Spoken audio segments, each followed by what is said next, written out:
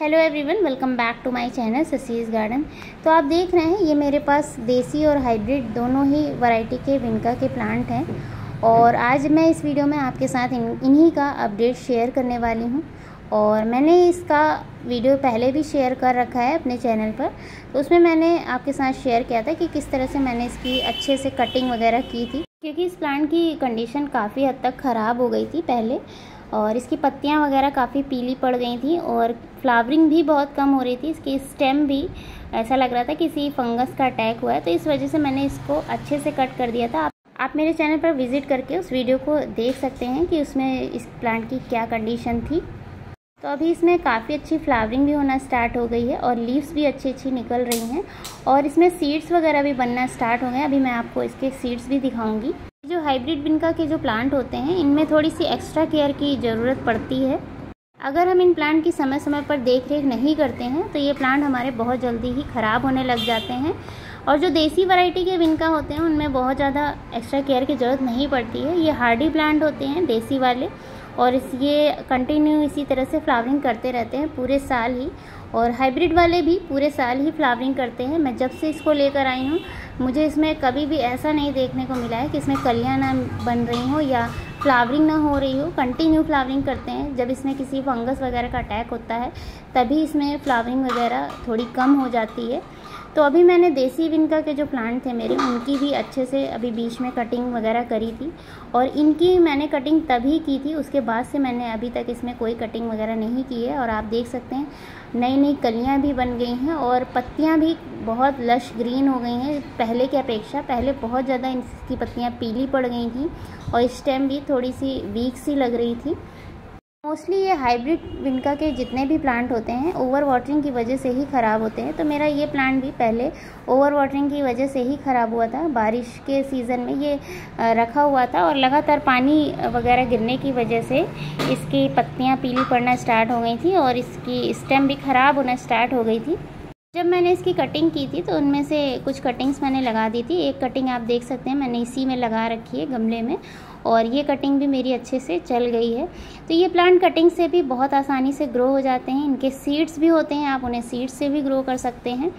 और अगर आपके पास इनके सीड्स और कटिंग नहीं अवेलेबल है तो आप इसे नर्सरी से बहुत ही कम दामों में लेकर आ सकते हैं। मात्र ये दस रुपये का पौधा आपको नर्सरी में मिल जाएगा। और छोटा पौधा ही लाएँ आप, छोटा पौधा लाकर इस तरह से छोटे पॉट में अगर आप लगाते हैं तो आप इसकी कटिंग से और सीड से और भी पौधे तैयार कर सकते हैं। तो अभी मैं आपको इसके सीड्स दिखाऊँगी, किस तरह से इसके सीड्स होते हैं। हाँ आप देख सकते हैं, ये इसके सीड्स बनना स्टार्ट हो गए हैं। इस तरह से जहाँ से पत्तियाँ निकलती हैं और कलियाँ निकलती हैं, उसी में से ये सीड्स इस तरह से बनना स्टार्ट हो जाते हैं। और जब ये मैच्योर हो जाएँ, तब आप इन्हें कलेक्ट करके रख सकते हैं रेनी सीज़न में ग्रो कर सकते हैं, आसानी से ग्रो हो जाते हैं। ब्लैक कलर के इसके सीड्स होते हैं। मैंने इसके सीड्स पहले भी हार्वेस्ट किए हैं और हर दो से तीन महीने में, इससे पहले मैंने जून जुलाई के मंथ में इसके सीड्स हार्वेस्ट किए थे। तो ये देखें, यहाँ पे ये वाला जो सीड है, ये मैच्योर भी हो गया है, थोड़े से ब्राउनिश कलर के जब हो जाते हैं, तब आप इन्हें हार्वेस्ट कर सकते हैं और ग्रो कर सकते हैं।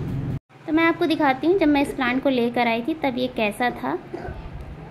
तो आप देखिए, इसकी कंडीशन कुछ इस तरह की थी, फिर उसके बाद ये इस तरह से ग्रो करना स्टार्ट हो गया और इसकी धीरे धीरे कंडीशन सही होने लगी। इसे मैं ऐसी जगह पर ही रखती थी, जहाँ पर तीन से चार घंटे की ही इसे सनलाइट मिलती थी। और आप देख सकते हैं कितने अच्छे से ये प्लांट बहुत अच्छे से फ्लावरिंग भी किया था और इसकी ग्रोथ भी काफ़ी अच्छी हुई थी। थोड़ा सा मेरा ये प्लांट बारिश के पानी की वजह से ख़राब होना धीरे धीरे स्टार्ट हो गया था, वरना बहुत अच्छे से ग्रो भी कर रहा था। तो अब ये वापस से रिकवर होना स्टार्ट हो गया है। फ्लावरिंग भी इसमें फिर से स्टार्ट हो गई है और अभी भी पत्तियों का कलर थोड़ा सा येलो है। तो आज मैं इसकी गोड़ाई करूँगी और इसमें पत्ती की खाद डालूँगी ताकि जो पत्तियाँ इसमें थोड़ी बहुत पीली हैं, वो भी डार्क ग्रीन कलर की हो जाएँ और इसकी ग्रोथ भी अच्छी हो जाएगी चाय पत्ती की खाद से। इससे पहले जो मैंने वीडियो आपके साथ शेयर किया था, उसमें मैंने इसकी सिर्फ़ कटिंग वगैरह ही की थी और किसी भी तरह की कोई भी खाद नहीं दी थी। तो उस, बस मैं बीच बीच में इसकी गोड़ाई वगैरह कर देती थी क्योंकि बारिश का सीज़न था इस वजह से और आज मैं इसमें अच्छे से गुड़ाई करके खाद भी दे दूँगी। इस तरह से हर गमले में थोड़ी थोड़ी टी लीफ कंपोस्ट आप दे सकते हैं इतने बड़े प्लांटर में। जब से मैं इस प्लांट को लेकर आई हूँ, इसे, इसी पॉट में लगा दिया था, उसके बाद से मैंने अभी तक इसकी रिपोर्टिंग वगैरह नहीं की है। तो जल्द ही मैं इसकी रिपोर्टिंग भी करूँगी, क्योंकि इसकी रूट्स वगैरह नीचे से दिखाई देने लग गई हैं। शायद रूट बॉन्ड की भी इसमें प्रॉब्लम हो गई होगी। तो ये सारी समस्याएँ हैं, हमें समय समय पर इन प्लांट्स की देख रेख करते रहना चाहिए। अगर इसकी, इसे रिपोर्टिंग की ज़रूरत हो तो हमें इसे तुरंत ही रिपोर्ट भी कर देना चाहिए। और पत्तियाँ पीली पड़ रही हैं, उनके लिए आप इस तरह से टी लीफ कंपोस्ट वगैरह भी दे सकते हैं। और आप देख सकते हैं, ये छोटे छोटे सीड्स हैं, ये मेरे देसी विनका के सीड्स जो इसमें गिर गए थे, उनके भी प्लांट्स इसमें निकलने लग गए हैं।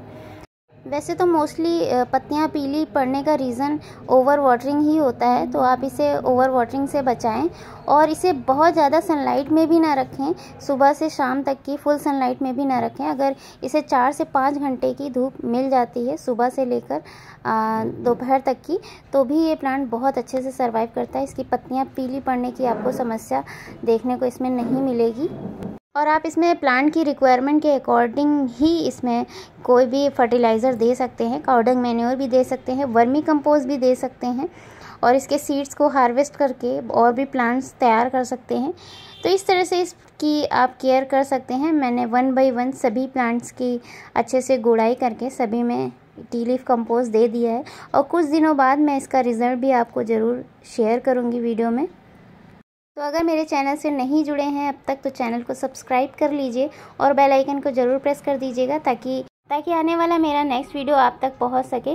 तो अगर ये वीडियो आपको पसंद आया हो तो प्लीज़ मुझे कमेंट करके ज़रूर बताइएगा, लाइक, शेयर एंड सब्सक्राइब भी कर लीजिएगा। तो इसी तरह के वीडियोस मैं आप तक पहुंचाती रहूँगी। तब तक के लिए मिलते हैं मेरे नेक्स्ट वीडियो में, नेक्स्ट प्लान की अपडेट के साथ। वीडियो को लास्ट तक देखने के लिए, थैंक यू सो मच।